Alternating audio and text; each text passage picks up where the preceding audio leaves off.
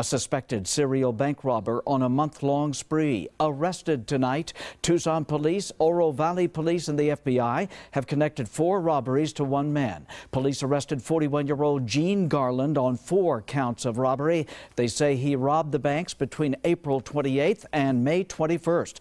During that last robbery, witnesses saw the suspect run to a vehicle and that helped police track him down.